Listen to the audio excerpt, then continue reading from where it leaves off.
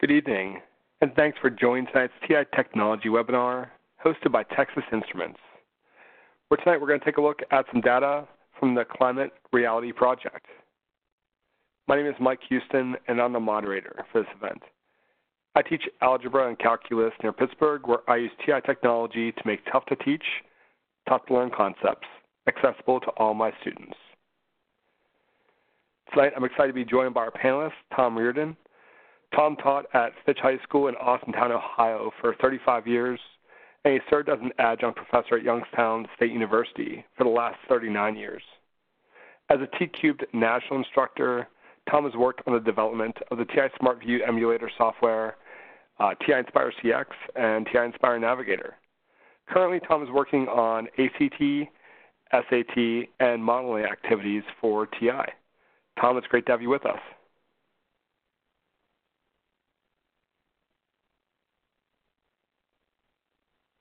We're expecting a large crowd, so your audio is muted. Feel free to send any questions to Tom throughout the webinar using the Q&A window on the right side of your screen. We'll also be using the chat window to send general messages. As a reminder, this session is being recorded, and we'll provide a link to the event certificate of attendance as well as a link for the documents at the conclusion of the webinar. We hope you don't have any audio issues, but in the event that you do, try selecting Communicate from the top of the WebEx menu and choose Audio Broadcast.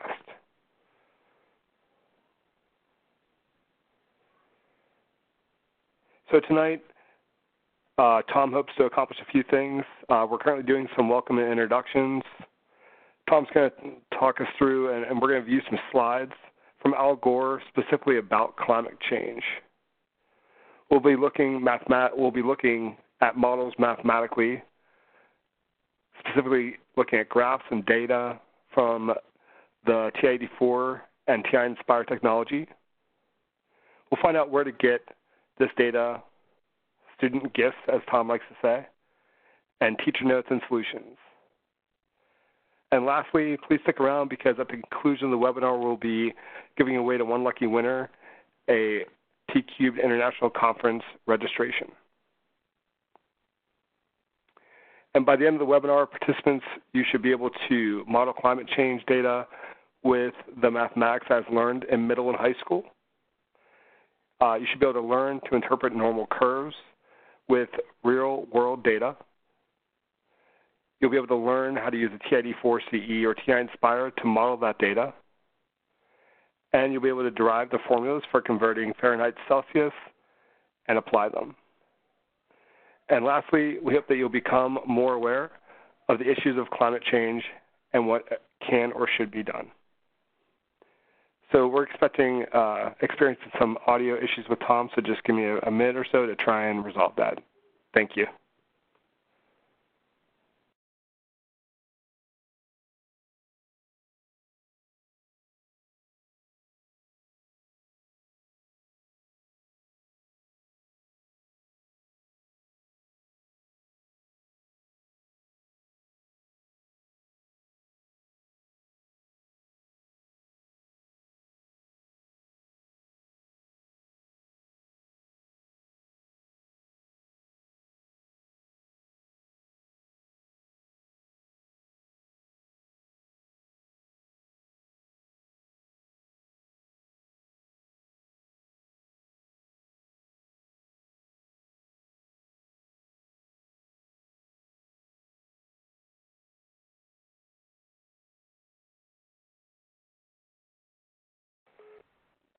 All right, we are good to go. So let me uh, give Tom control. And Tom, you are unmuted. There we go. Thanks for uh, bearing with us tonight. Tom, feel free to share your screen. Okay.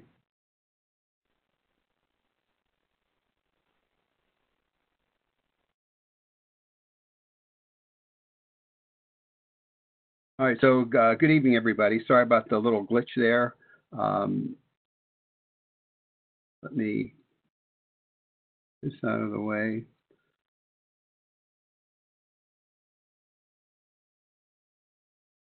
All right, so we're going to talk about the Climate Reality Project uh, that I attended in Los Angeles uh, previous August. uh, with uh, former Vice President Al Gore. And my main goal was to, find, get some good data to model mathematically so that we can do good mathematics and become socially aware of, of some issues that are going along.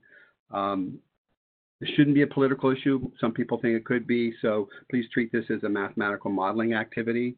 Uh, also, I do need to say that the ideas shared at this talk are mine, do not represent any company. Even though this is a T-Cube thing, they're allowing me to do this, but this is one of those things that they don't acknowledge this or support it or not support it. It's just, um, this is just me. Now, also, you'll see uh, a, a, website there. This is where all the data is, uh, bit.ly forward slash climate TR, TR for Tom Reardon. Uh, those are all lowercase. It is case sensitive. I'll have that on the next one. Let me just show you the website real quickly here so that you can uh, see what I'm talking about. Um, so you'll notice that there are two columns here.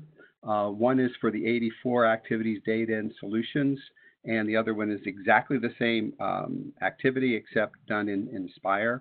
Uh, each of them include the data, student worksheets or gifts, uh, teacher notes, and solutions. Uh, for the Nspire, it has a student version on the TNS file and also a teacher one, and some other things that I'll talk about at the end. But you get all of this stuff, okay? I'm not, um, and there's, uh, I think, six activities uh, that hopefully we'll be able to look at.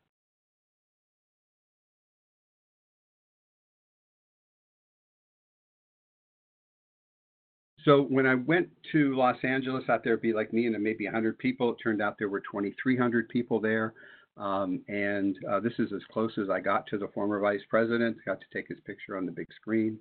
Uh, I did get to meet one celebrity. I don't know if anybody recognizes that. That's Ed Begley Jr.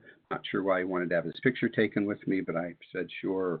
Maybe it was the other way around. I get those things mixed up. All right, so this uh, slides here, some of them I can share with you, and, many of them I can't because uh, they belong to uh, Mr. Gore. But uh, this one is a picture of what they call the blue marble. I think it's from Apollo 17, one of the first chances to see what the Earth looks like from outer space. Uh, and I thought this was interesting. This is either sunrise or sunset, uh, showing the curvature of the Earth, but more so showing how thin the atmosphere is. And the atmosphere is one of the things we have to kind of protect um, over uh, 110 million tons of man-made um, global warming pollution are being thrown out every day.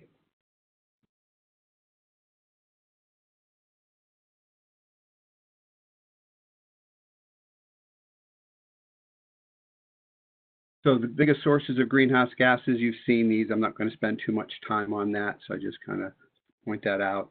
But the largest source of global warming pollution is the burning of fossil fuels, according to about 97% of the scientists. And we'll come back to this slide in just a minute. Uh, CO2 is being released in the atmosphere faster than any time in the last 66 million years. And the energy trapped is now equivalent to exploding 400,000 Hiroshima atomic bombs every day, 365 days per year.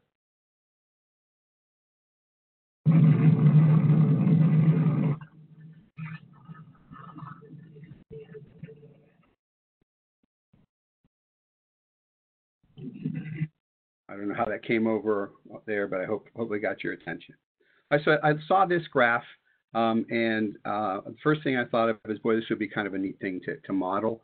Of course, I'm not going to be able to model all of these idiosyncrasies in it, but you know, do this. And keep in mind the reason we model some of the, one of the things we do is to predict what's going to happen uh, as long as data keeps continuing to grow as it has been uh, previously. Um, so uh, let's go ahead and look at this one here. I'm going to look at the, on this one on the 84. So let me bring up a TI-84 here. And oh, before we do that, let's look at the um, student sheet. Okay, gifts as I call them, worksheets as many of you call them. So this is uh, the, the, worksheet that goes with it. Uh, the, the, picture is here. And I'm not going to spend a lot of time on uh, some of the non-math stuff or non-modeling things, but if you look at the student worksheets, there are a lot of questions like what's along the horizontal axis, vertical, vertical axis, what's the graph telling us? Some fairly straightforward, but things that need to be said because kids sometimes just don't look at those, okay? Uh, what type of equations we use to model this and so on. And I'm hoping that they'll say, oh, maybe it looks like half of a parabola or maybe a cubic or a quartic. Uh, exponential, well, I hope not. Exponential means just growing really, really fast. Okay. Uh, and then it goes ahead and asks us to uh, do a stat plot and so on. So this is on an 84, but like I said, this have exactly the same thing done with Nspire with both the student and teacher TNS files. So uh, for this one, uh, to get the data, um, I had to go online and find the data, and uh, I put it into a program on the 84, and it's listed in and spreadsheets on the TI Nspire. So the name of the program is Burn FOSS. Remember on the 84, you can only allow eight, up to eight characters, so it sounds kind of cryptic. So I'll go ahead and run uh, Burn FOSS, the program. It says it automatically places uh, this data into list one and to list two. Uh, press enter to continue. And then since many of you might not trust me, I'll press stat and edit to show you that the data is there. And you'll notice that it's not every 10 years. I, I pretty much picked uh, years that were made a difference, okay? And if you press the up arrow a couple times, you can see it goes to uh, 216. You'll notice that I did not have 1850. I started with 50 for 1850. So you need to add 1800 to any year to get the actual year. Two reasons for that. One is it's quicker to type, and the other one is when you do regressions with very large numbers, you sometimes get weird results. So two things there why I did it that way. All right, so what uh, students would need to do is this, and, and notice, by the way, that this idea of, of, putting the data into a program, I strongly, highly encourage it. Um, typing in data, especially a lot of data, just is very self-defeating, not a good use of time. So I highly rec recommend that. So the first thing we need to do is set up a stat plot. So um, we're going to go ahead and set up a stat plot, turn it on. And normally I would go with a scatter plot, but since my data looks like a line, a connected line, I'm going to go with the second one there. And my X list is coming from uh, L1, and my Y lists are coming from L2 and I like the second from the right. And blue, I'm fine with blue as a color. The other thing I need to do is set up a window. And if we look back, uh, I guess I don't have, I have the data in the list. So I'm going to go and just go ahead and set up a, a window here. And this is something uh, some teachers will say, I'll just have them use Zoom Stat. Uh, I would wish you didn't do that. Uh, you're taking away that opportunity to find the domain and the range, and I think that's a very good discussion there. Um, so for this one, I'm going to start with um, 50, which was the year 1850, and go to 220, which is uh, 2020, and I'll do it in steps of 50 years. Y min, uh, negative 1, even though I don't have a negative answer, I like to see the x-axis. And it goes up to about 10, so I'll go to 11 in steps of 1. Now I'm going to go ahead and um, let me go to y equals, see if I have anything in there. No, and then I'll press graph. And let's look at that and look at also, again, the data um, that we were given. And hopefully this looks like that. Um, in fact, it does because it took me about an hour and a half to get that data typed in and from off the computer. So uh, yes, we do want that to be exactly right. So one of the things you might want to ask your students about modeling is, and, and it's kind of it's funny in a way. I'll say, you know, do you ever wonder, like you'll read in the paper, that we predict the population of Ohio to be so many million by 2020. And I'll ask them, you know, you ever wonder how they come up with that? And basically they say no. And so um, just I tell them there's some guy named Louis who's like a really good guesser, and they're fine with that. Okay, and then finally I tell them no. Using the mathematics that we study, you try to model it with an equation and then uh, use that equation to predict. So for this one, we're going to go ahead and try a quadratic um, uh, regression on this data. So uh, I'm going to go over to stat and over to calculate, and the quadratic regression is number five. By the way, the discussion of what types of curves model is, is a very important one, uh, so uh, don't leave that one out. Uh, X list, yes, L1, Y list, L2. I'm going to store it into uh, Y2, so I'm going to press alpha trace to access the Y variables, and I'm going to use Y2 because it's quadratic, just try to remind and um, getting a fairly decent R squared. But let's go ahead and see what the graph looks like. And so for here, you can see it's not really great like the very beginning, but for prediction purposes, it might not be too bad. Okay. Um, let me just show a quartic, uh, and then we'll and then I'll show you the, the, the teacher notes and solutions to see that. So back to y equals and turn that one off. And let me just do a stat, calculate quartic regression, L1, L2, and store into Y4, the trace for Y4.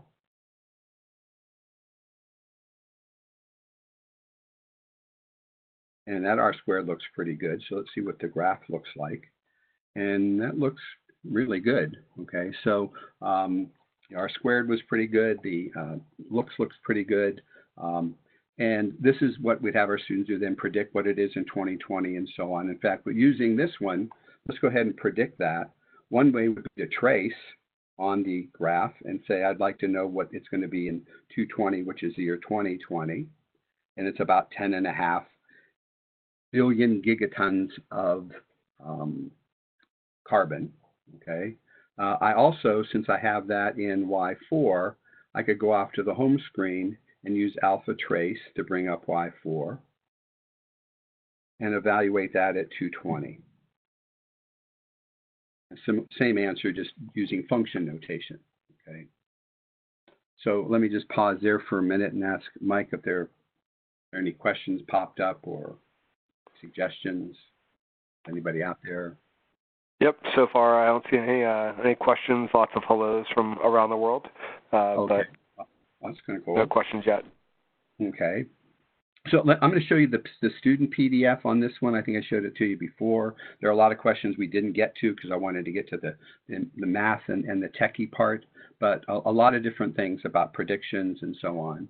And then the teacher notes uh, have um, all of the answers there in bold, okay? And also, I, I, try to include as many screenshots as I can in both the Nspire and on the 84, so that if you're not a not up, used to doing this, you can hopefully look at this and see it. And here, notice I can compare quadratic, cubic, quartic, and exponential regressions right here side by side and then be able to decide.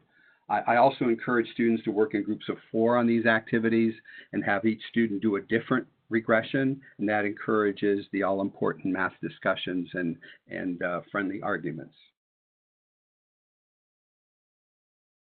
All right, so that's the first one. Let's go back to uh, the, the PowerPoint and go from there.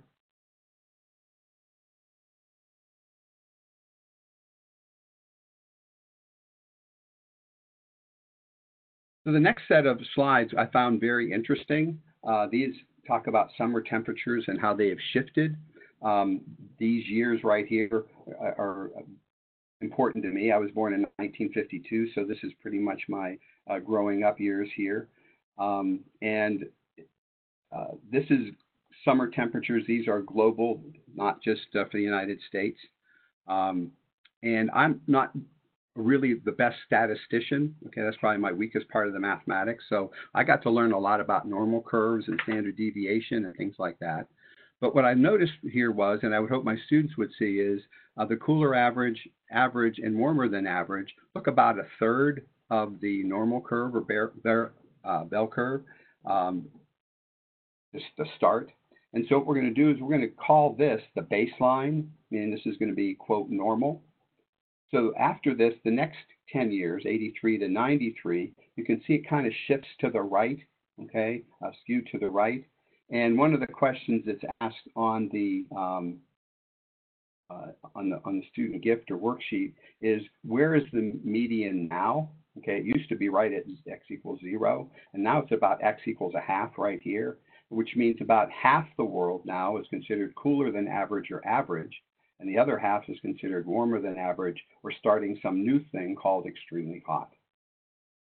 That was that 10 year one. 10 years later, you can see again it's now skewing to the right. Uh, the new median is going to be about at x equals 1.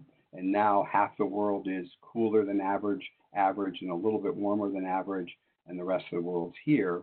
And then the last set of 10 years, you can see that the median's way out here. And now that um, extreme is it used to be like less than a tenth percent of the Earth is now about 15% of the Earth.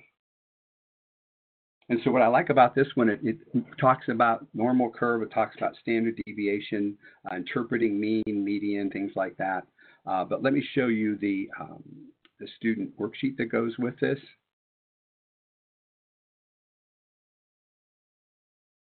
So they're given the, the graphs, and then I also give them the bell curve and all the information about a, not all, but some of the information about a bell curve, about standard deviation and what percentages they are and so on, uh, and ask them questions about that just to get them familiar with it. So I'm trying to teach other mathematics using, again, the climate change slides uh, to do that.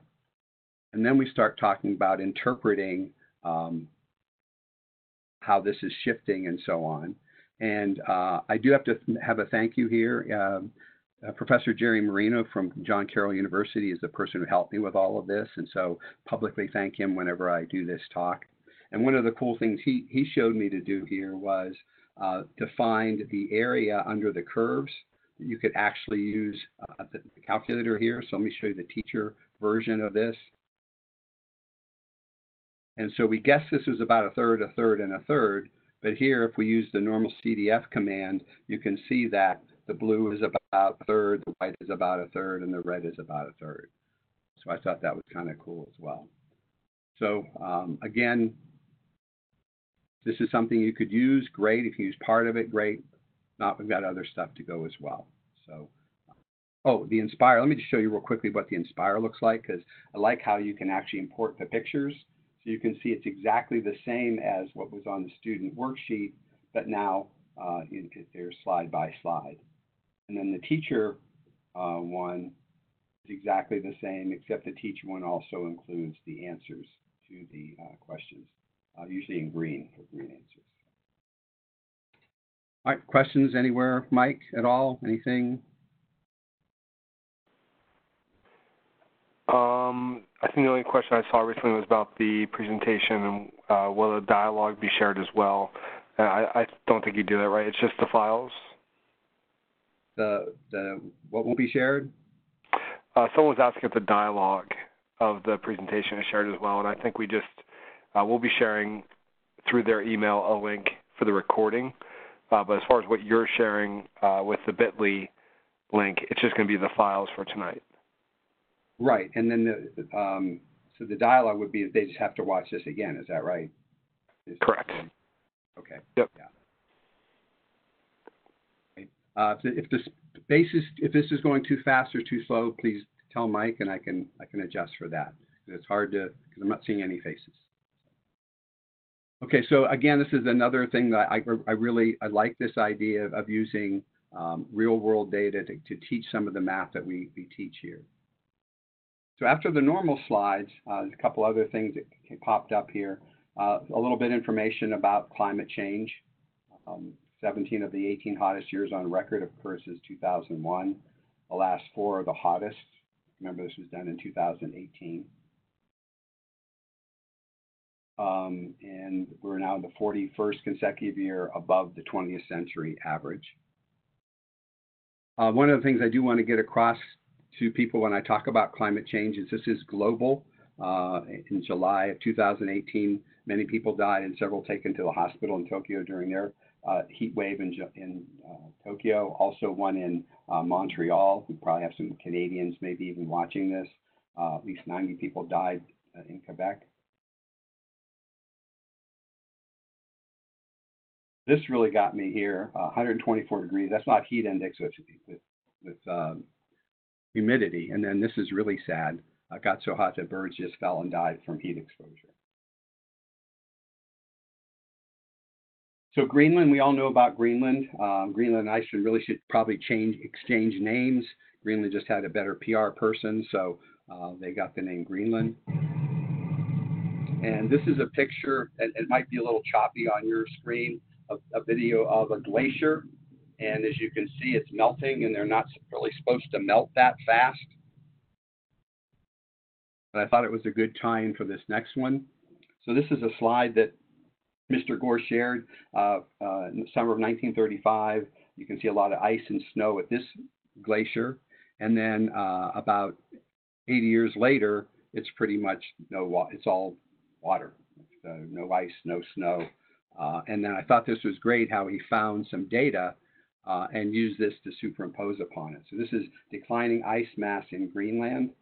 And um, the horizontal is years starting in about 2002. And then this is change in ice mass in gigatons. Okay, huge, huge number, gigatons. And I just found this to be a very interesting uh, graph. Let me just pause this for a minute. Uh, one of the questions I ask is, why is it going up and down like that? And without giving you enough time probably to think about it is, even Greenland has seasons. So it has, you know, heat, uh, summer and winter. And so yes, it's going to fluctuate like that. Um, trying to model that curve will be a little bit nasty. Uh, however, I think if we use the linear equation to model this, we would kind of go right through the middle of it and kind of get an idea of a trend of what's going on, like an average of what's going on. Um, so one of so let me just go to the um, student sheet here. So Greenland, the student sheet, and this is what the student would get. Um, and then the, the uh, data on an 84 is in a formula, is in a, a, program. And on Nspire, it's right in the uh, spreadsheet, okay? Uh, but again, asking questions like what's measured on the horizontal axis, the vertical axis, what's going on in this graph, and so on. All of these things I'm passing over. I'm trying to just get to the, the math and techie part. But keep in mind, I do want to appeal to a, a lot of different things uh, in these activities. Um, but my, the first thing I would want to have students to do is just letter I, without using the regression feature on your calculator, model the data with a linear equation. And I think this is an excellent idea, um, is to have them try by guess and check, and they'll have to do several tries.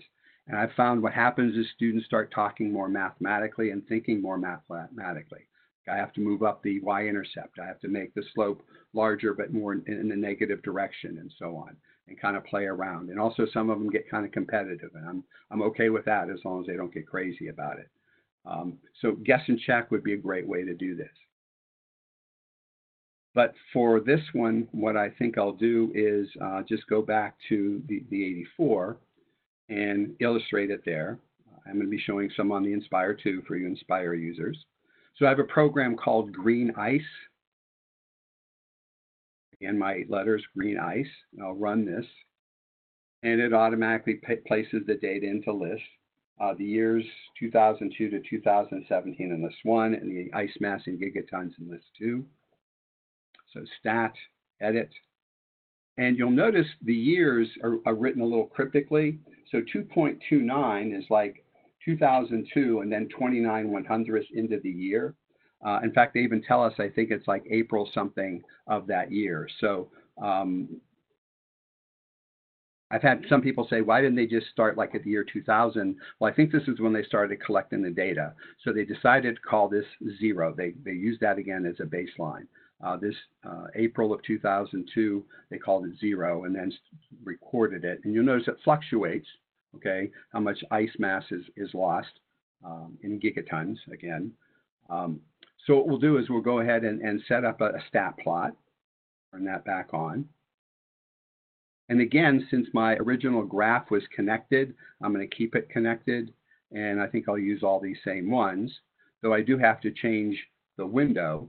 And so for this window, I'm going to go negative 1 to 20. And negative 1 actually means 1999, but I'll explain that in a minute. Your 0 is at 2000 and why I'm going to go with, uh, and again, this is where the kids would talk about domain and range, and uh, I definitely want them to do that. I think that's important, but we're going to stick with this. I'm sure you're all okay with domain and range. And let me turn off any equations or clear out any equations I may have. So here's the, oh, oh no. Oh, I must have goofed in the window. Oh, oh yes, my scale. So sorry, goof that. So negative 4,000 is my Y min, positive 1,000 Y max, and positive 1,000. So sorry about that glitch there. So again, my question is, is that curve look like this one? Again, the answer is yes, because it took me a long time to get that data in there. Um, so what we're going to do is have the students um, model this with a linear regression after they've done their, their uh, by hand one. And, and then we want to talk about what the slope and y-intercept mean. And those are, to me, very key. But let's first go ahead and do the regression. So off to the home screen we go and clear. So uh, stat and over to calculate, down to linear regression. Uh, L1, L2, and I'm going to store it into um, L. I'm going to store it into L2 because I think L1 is already blue. So alpha trace and Y2. And R and R squared don't look too bad. R is negative. Of course, the data is going slanting down. So it's our equation right there.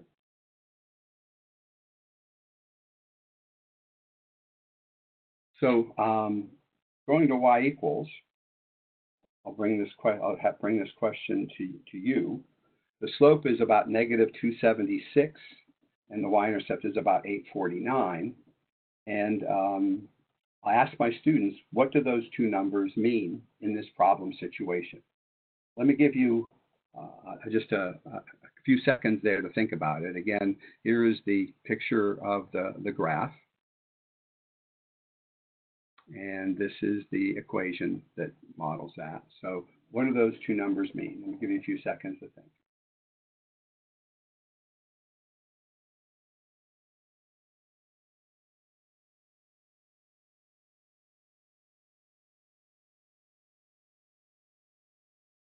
So going back to the graph, and I know I didn't maybe give you some of you enough time, but it, it's funny when I ask students, this is what I get. I'll say, what is, you know, negative 276 in this problem? And they'll tell me the slope. And I'll say, well, yeah, but in the problem situation, what is it? And they'll say, it's the slope. Like saying louder is going to make it better. But uh, and they're, they're mad at me because it's like, you, you know, you've been harping on this y equals mx plus b all year, and now that's not good enough for you. Um, so the slope here, actually, if you look at it, uh, at the picture, think is probably a better way to look at this, is this is the um, average change in ice mass that we're losing per year. How many gigatons per year on average we are losing? So change in y over change in x. Okay, it's negative because we're losing it. And then the uh, slope, 849, I'm sorry, the y-intercept 849, going back to the, to the graph is how many more gigatons of ice would be there in, in January 1st of 2000. That's when, when the, the y-intercept would be at year zero. And so it would be 849 more gigatons than what we started with when we called this zero here.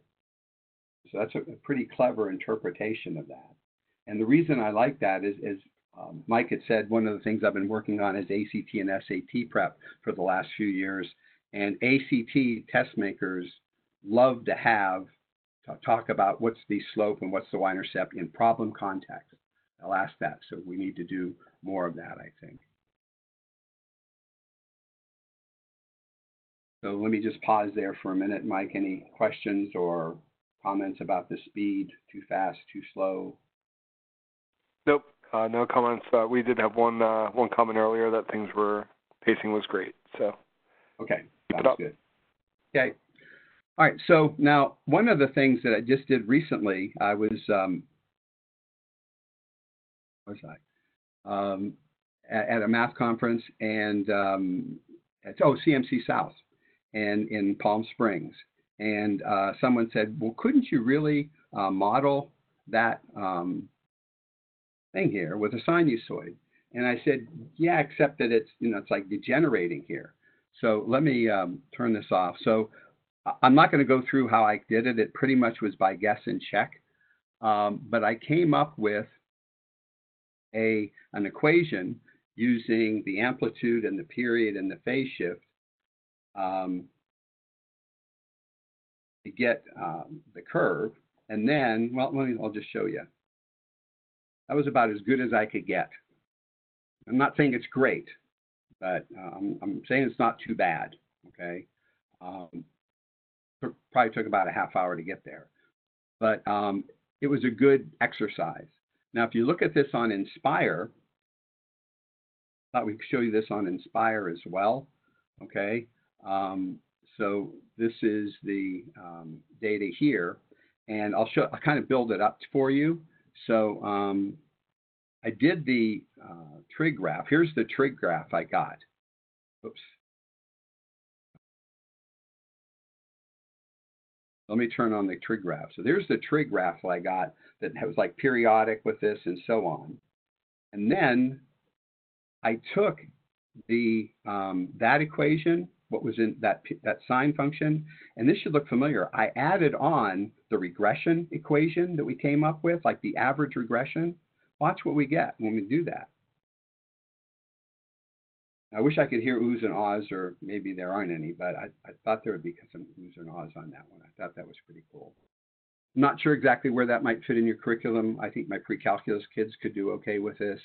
Uh, but anyway, so modeling real data. Also, we're getting across the idea that ice leaving is not a good idea. We need need to have the ice at Greenland and, and Arctica and Antarctica.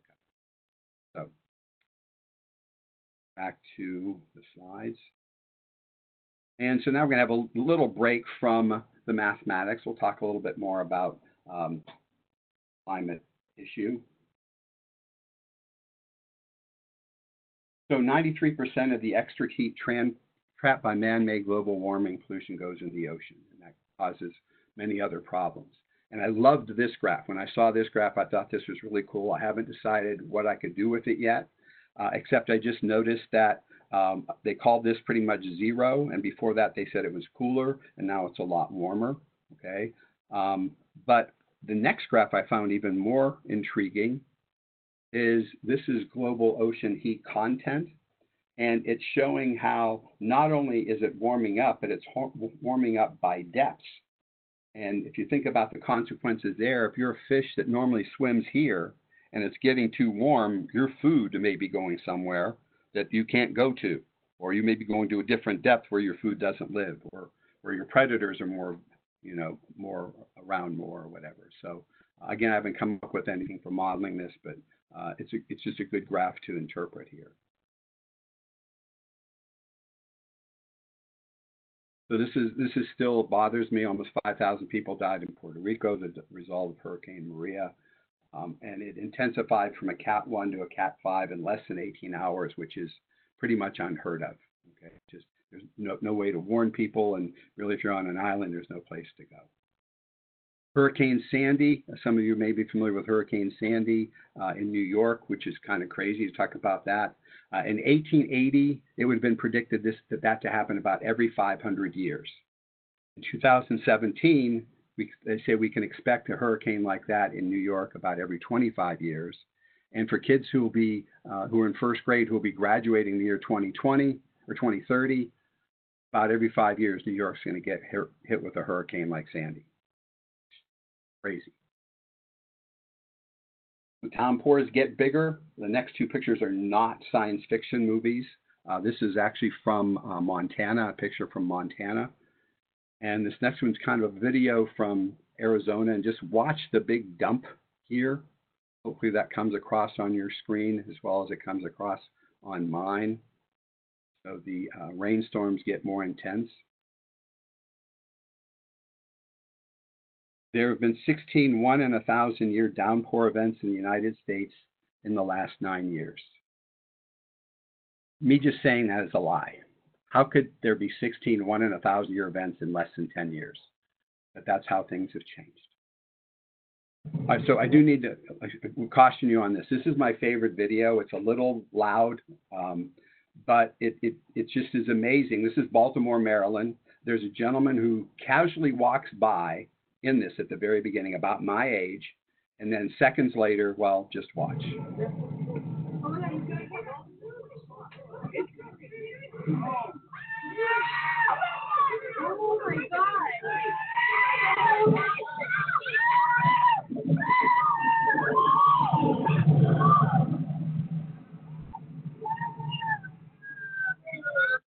Sorry about all the screaming. That that wasn't me.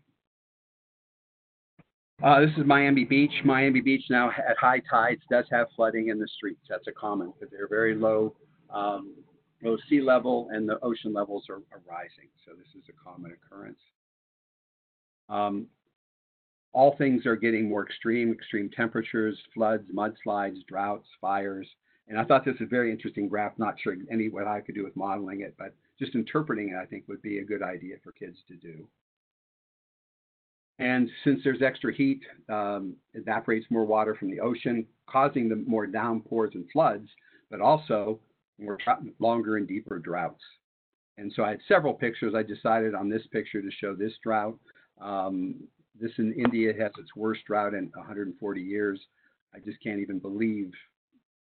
I mean, that's just awful. Um, I was in California, like I said, last week, and uh, there were several people say, "Oh yeah, I know that lake." Um, and uh, three years later, there's no reason to have the dam. California's drought was the worst in, in at least 600 years. Okay, this is just amazing. And of course, now there's more fires. Uh, the fire season in the United States is now three months longer than it was the year I graduated from high school. Um, I had several fires here. I decided to show this one from Napa Valley because I was there. Uh, my wife and I went there. I did, did some work in San Jose at a school district, and we went to Napa that day, not October 8th. And my wife said, We have no power while we were sleeping. Said, Oh, don't worry. And we woke up the next morning and we saw the ashes in the sky and just, uh, amazing. This I thought was an amazing graph as well. Um, and I point this out for a couple reasons. Um, if you have not looked at the ACT recently, the science test, the science test makers love to have you interpret graphs. In fact, I took several ACT test science tests. I haven't had a science course in since 1972 in college, and um, I was able, without reading the, the, the passage, I was able to re- read and interpret graphs for about 40% of the problems. Now, what I'm pointing out here is you'll notice the vertical axes, there are two of them here. And that's they love to ask those types of questions on the ACT science part. So uh, this would be a great way to help not only uh, teach about climate change, but also prepare kids for ACT and SAT and science courses.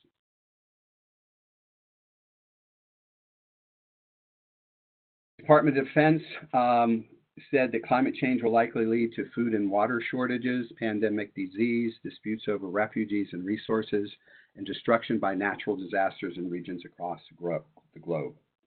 And, and that has already started to happen. This is from 2014.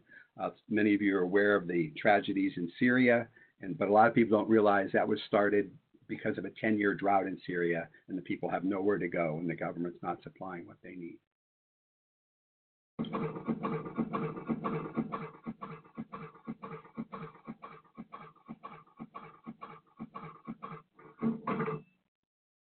So now that I've um, depressed you, let's look at some some positive things that can, can be done. Okay, in the time that I have left, uh, there are solutions at hand. Um, a, a, lot of the clean energy technologies, the prices are going down drastically. These will be good to uh, model, uh, especially the LED light bulbs. I think it's crazy how much they've gone down in the last uh, 10 years. And, and this is another graph that I really like. Again, two vertical axes, two different graphs. As one price, as the price goes down, the number of installations goes up. And um, so I do have this one to model, and I have this one on Nspire. So I do want to go ahead and, and look at this one on Nspire. Um? LED lighting. So this is what the student activity would look like. Though on Nspire, you almost don't need the activity because it's built into the Nspire, as I'll show in a minute.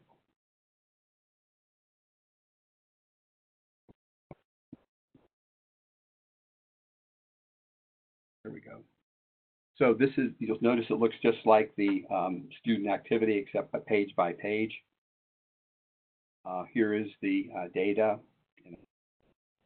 so it talks about what does the LED mean and so on. I'll skip over these. They're not fluff, but they're just not what I want to look at right now. Um, so here's the data typed in here. And uh, so you can see what the data looks like. And uh, without giving too much away, it looks pretty much like an exponential decay. So I thought that would be kind of a cool thing to, to do. And then it asked students to, to talk about what they would use, and there's a difference between exponential decay and exponential growth and all that good stuff. But let me just skip ahead here to, um, I wanted them to do this by guess and check or trial and success. Um, and with Nspire, you can do that. So uh, on this page here, what I'm going to do is I'm going to try to use A uh, times B raised to the X power. And those of you not used Nspire, just, just thought I'd show you that, uh, this. And when I type in this using parameters, it automatically says, do you want to create sliders for those variables? And I thought, sure, I'd like to create sliders. I like to play with that. That would be fun. So uh, let me just set up these sliders a little bit different. I, I prefer to have them minimized. And I also prefer to um, set up settings. So um, I think for this one, I'll have it start at maybe 130, uh, a minimum of maybe 50. And, and, this is something I have to play around with, the students have to play around with. A maximum of, let's say, 200. And let's go step size of 1. And then for the B, uh, again, this would be something the students would have to talk about and play with. Uh, I think I'll start with maybe 0.3. Um, minimum of 0.1 and a maximum of 1 and a step size of 0.01, a hundredth. And so I have this equation here, y equals uh, a times b to the x, where a is 130 and b is 0.3. And then I can go ahead and play with these two sliders to kind of move around the curve to curve fit um, my best fit. And um, I go back to the data, I think 154 is, is that y-intercept there, that first year that I had at 2008. So if I go to uh, 154, that'll go through that y-intercept. And then I can play, oh, no, don't go that way. I can play with B. The students can learn and see what happens as the um, multiplier is increased there. And so maybe that might be good might want to go through the last point. Maybe that would be a good one. So you kind of just play around with that. And also, I could then have the, the uh, Nspire do the uh, regression equation with an exponential and compare them and see, you know, which one looks better, which one would be better for predicting, and so on. So I just thought I'd show you that. I kind of like the way uh, Nspire shows that. Uh, on the 84, you can do the same this same problem with the uh, transformation app. And I have that.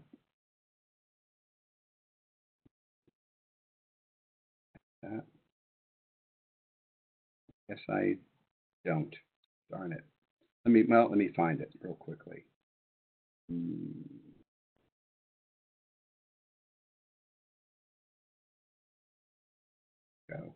So yeah, here it is using the transformation app.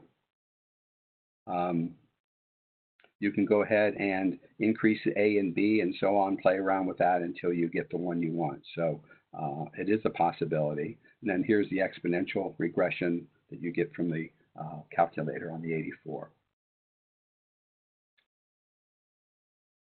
Let's see where we're going here. All right, getting close to the end. Mike, any questions or comments I should be aware of? Um, just one or question about the the files uh, with the Bitly link. Um, okay. Your actual presentation that you're going through right now with the slides is that anywhere on that Bitly link, or is that something that uh, they're not able to get? All right. So unfortunately, I'm not allowed to share uh, the slides that Al Gore puts together. Um, in order to be able to use those, you have to um, go to his um, uh, seminar and uh, so I wish I could, but I'm not allowed to do that. But you do get all the other stuff, so hopefully um, that that helps. But thanks, thanks for the question. Uh, in fact, whoever sent me the question, I'll I'll um, I'll just give you this since I couldn't um, you know give you the slides. I'll just you know send you a virtual Pez.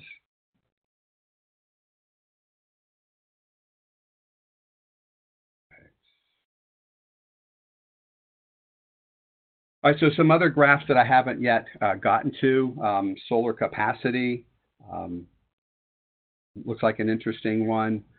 Um, and this one, I, I, was I almost had this ready to go. Look how nice and smooth that curve is. Oh, just beautiful. But I just didn't get it finished in time. Sorry about that. But I hope to have that done in the next few days and, and put that on the website. But I just thought that was looks like a math teacher made that curve. Okay, lithium ion battery prices are going down.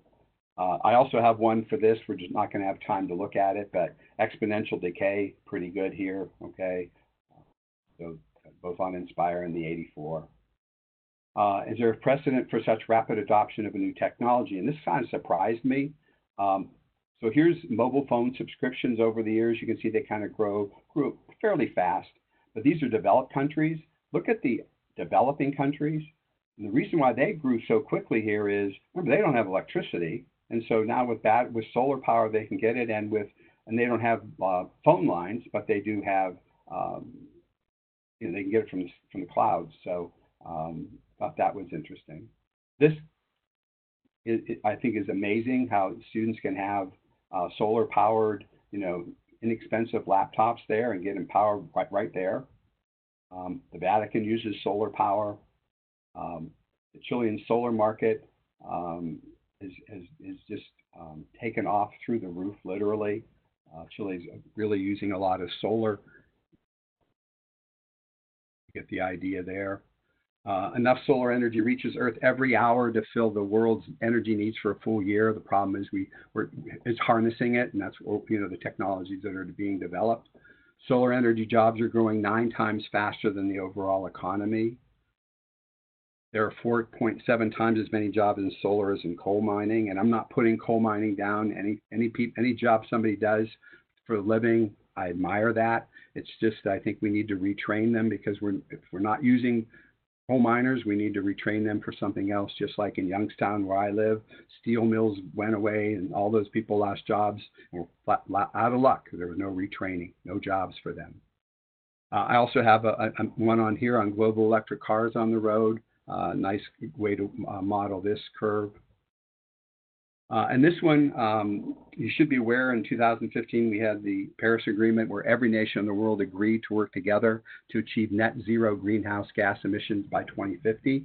Uh, there's something about the United States not being involved with that, but uh, by law, we cannot legally withdraw until the day after the next presidential election. So when people say we're out of it, we're not out of it. In fact, what's really good is many industries are saying we expect the United States to exceed the Paris commitment. The government doesn't have to do this. Uh, the people, that the um, uh, industries can do that. India and China are on track to overachieve their Paris commitments. Um, last year, about this time, the Friday after Thanksgiving, the United States government put out the fourth national climate assessment. Uh, many people there were, um, almost every government agency contributed, and all, all the agencies came up basic with the same thing that uh, Al Gore has been saying, and that is the impacts of climate change are being felt across, across the country, and we're, we're in trouble. However, uh, we did get this response and um, from the White House. Uh, the quote was, you have to look at the facts that this report is based on the most extreme model scenario, which contradicts long established trends. Modeling the climate is an extremely complicated science that is never exact. I agree with that quote. The next quote, we think that this is the most extreme version and it's not based on facts, it's not data driven. We'd like to see something that's more data driven, it's based on modeling. Pretty sure modeling is based on data. Could be wrong. You probably heard about Greta Thunberg. Uh, she 50, two year, a year ago, she went to uh, uh, a summit in Poland and basically told the adults to grow up. Um, and her her talk to that is, is on my website. Recently, she came over to Congress and spoke to Congress, and um, she said basically, I don't want you to listen to me. I want you to listen to the scientists and take real action. And she even didn't come by plane. She came by uh, a, zero um, carbon boat, zero carbon yacht. Uh, these are two opposing views. Um, We talk about costs. We're not going to we're going to pay for this whether we pass a new Green Deal or not. Because as towns and cities go underwater, as wildfires ravage our communities, we're going to pay. We're either going to decide if we're going to pay to react, we're going to pay to be proactive. And you can probably guess who said that. Okay. The response to this was, according, rather than worry about plastic straws and carbon emissions, Americans should just go out and find themselves a mate. This is a quote. The solution to climate change is not this unserious resolution, but this serious business of human flourishing. The solution to so many of our problems at all times and in all places fall in love, get married, and have some kids. This was the rebuttal there. Right, um, looks like I'm kind of running out of time here. I was going to show you the how to go from Fahrenheit or Celsius to Fahrenheit. I'm kind of running out on that one, so sorry. I, I, will put that up. I'll put that up on. I'll make a copy of that put it up on the web. I want want to show you the web. Here's just what some people did in Europe when it got too hot. But these are some of the things I've been doing since um, going to Al Gore's thing. And then, of course, this is his last slide. So let me just show you the, the, the website again uh, before um, I think I have one minute before Mike needs to uh, take back control, and I appreciate his help. So again, if you go there, these are all the activities, uh, all the data is there.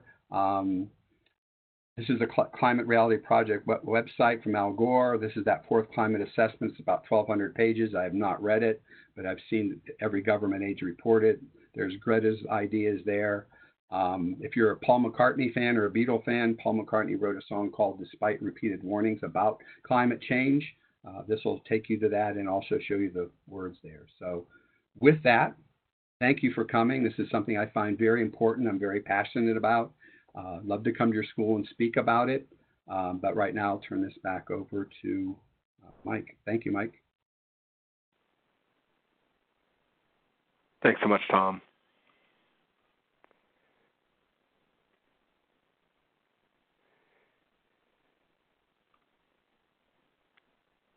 Uh, so a couple housekeeping things as we uh, wrap things up tonight. Uh, the first is uh, that we've been talking about the upcoming T-Cubed International Conference. Uh, again, it's a great place to connect with like-minded educators. Uh, if I had to, if I was a betting man, I would bet that Tom is, is going to be there and probably presenting something. Um, so feel free to join us at the T-Cubed International Conference. visit our website to learn a little more about the conference, as well as some current special promotions uh, that you can uh, you can get as well. Um, and we said for tonight uh, we're going to be giving away to one lucky winner a T Cubed International Conference registration, and tonight's lucky winner is Robert Baker. So Robert, congratulations. We hope to see you as well as everyone else at the T Cubed International Conference coming up in March of 2020 in Dallas. When you leave the webinar tonight, a brief survey will automatically appear in your browser. Your feedback guides us as we plan future online events, and we really hope you share your thoughts in the post-webinar survey. Also wrapping up right now, uh, I think there's a, maybe about a week left, uh, is the Extra Credit for Teachers contest. Uh, this is a way that you can earn weekly entries for a chance to win great prizes for your classroom. Um, and so you can learn more about the Extra Credit for Teachers contest by, by visiting our website, education.ti.com. Uh, whenever you go there, uh, doing things that you probably already do, such as attending this webinar, uh, again, will earn you'll gain uh, entries, um, and you would need, for instance, for tonight, a code to gain some of those entries. And tonight's code for the Extra Credit for Teachers contest is climate data. I'm going to put that in the chat window. It is uh, not case sensitive, all one word. And that's again the code to be used for the extra credit for teachers contest.